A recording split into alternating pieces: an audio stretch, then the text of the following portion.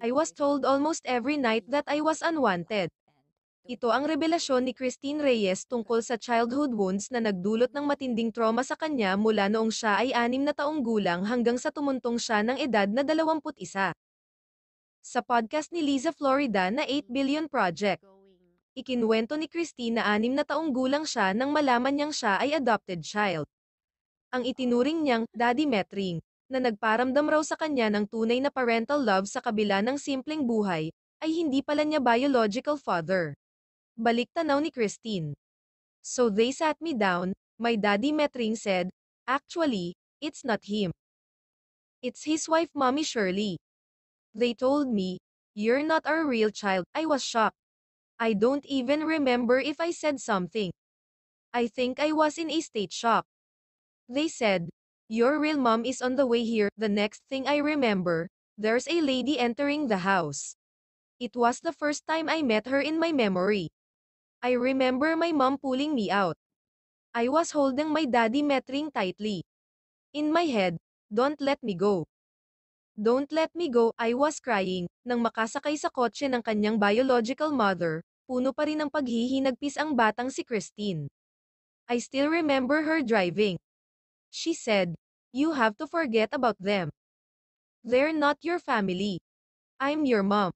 So, I'm just quiet. I don't know her, pagdating ng bahay ng ina, naalala raw ni Christine na malaki ang bahay na may limang malaking kwarto. Kasya raw ang 10 hanggang 12 kotse sa laki ng garahe nila. Pero sa murang edad ay hindi raw noon napawi ang sakit na dulot ng pagkawalay kay Daddy Metring, ani Christine, it wasn't a very welcome for me. I think I don't belong here. Ever since I moved to my biological mom. I felt that I didn't have a voice. As much as possible, I don't really talk, tingin ni Christine, may mabuting puso pa rin ang ina niya nang magpasya itong kunin siya mula sa adopted family dahil kadugo niya ito. I aborted you so many times. You should have died, pero napagtanto niyang wala raw kapasidad ang ina na alagaan silang anim na magkakapatid. Puno raw ito ng galit sa puso na naibunton sa kanya. Lahad ni Christine. I was very neglected at 6 years old. I remember whenever there's a problem, I would constantly hear words, you know, you should have died. You never should have been born. I tried so many times to abort you. You're just something else. Your grip was there. You should have died. Hindi lubos maisip ni Christine kung paano iyon nasabi ng sarili niyang ina. Patuloy niya. It was so painful. I grew up hearing that all the time. I came from a very loving family, a happy environment. And then all of a sudden, my life changed. What is this? I had to survive. I was always at survival mode at the age of 6. That's when it started I always want to be alone. Because when I'm alone, I'm safe Christine on living in a hell house ayon pa kay Christine, Hell House, ang tawag niya noon sa malaking tirahan ng kanyang pamilya dahil sa masasakit na pananalita ng kanyang ina. For me, I know it's wrong. But I couldn't say, don't say that. Because in our culture, if you answer back, you are a disrespectful child. And you can't tell anyone about it. As a child, you just follow rules, kaya raw laking tuwa niya na kinalaunan ay nagkaroon siya ng sariling kwarto kung saan pwede siya magkulong. Siya ay 21 years old nang bumukod na siya sa pamilya at nagkaroon ng sariling bahay. Pero nagdulot daw kay Christine ng trauma ang karanasan niya. Palagi raw siyang takot dahil sa mga salitang ayaw ng ina niyang mabuhay siya sa mundo. Until now, I'm always scared, pag-amin pa ni Christine. Napuno ng galit at bitterness ang puso ni Christine dahil lumaki siya sa unloving environment. Hindi raw niya mapigil ang mainggit sa mga kaklase at hanggang sa mga kasamahan niya sa showbiz na may mapagmahal na ina. Lahad ni Christine. Even in school, whenever I see my classmates with their mom in school, oh, why is the kid with her mom, I see the mom taking good care of her child.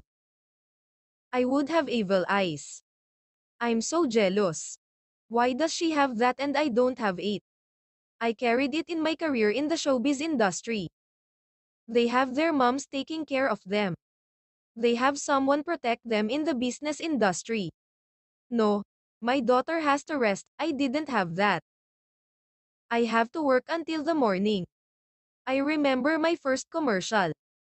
It was already past 12, midnight. I couldn't articulate what I wanna say. So I just give a bad behavior. Because I couldn't speak sa dami ng pinagdaanan niya sa buhay, ang childhood wounds daw niya ang talagang tumatak at naging sanhi ng maling pananaw niya sa sarili. Saad ni Christine, in life, there's always trials and pain.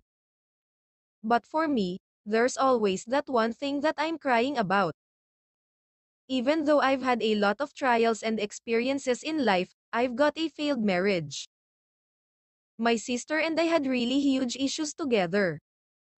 But that doesn't affect me anymore, ang tinutukoy ni Christine na estranged husband ay si Ali Katibi.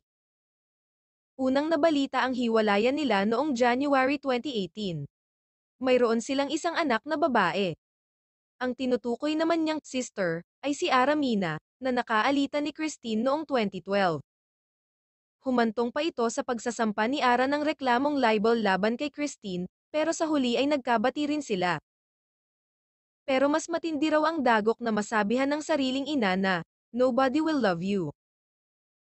You're gonna be alone all your life, sabi pa ni Christine, it's stuck in my head, naging defense mechanism daw kasi niya ang pananahimik at pag-iwas na tumingin sa mata ng ibang tao. O kaya siya naman ang nagbabato ng masakit na salita sa ibang tao. Because I grew up like that.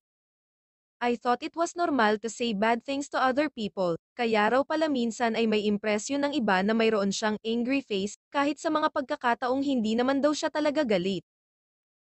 I want to cut the curse, hinarap daw uli ni Christine ang inner wounds niya nang siya ay sumailalim sa isang self-growth seminar o retreat habang siya ay nagbakasyon sa US. Aniya, now, I'm realizing you can speak up. I can stand up for myself. I'm already 32 and I still have that in me wherein I can't speak my mind.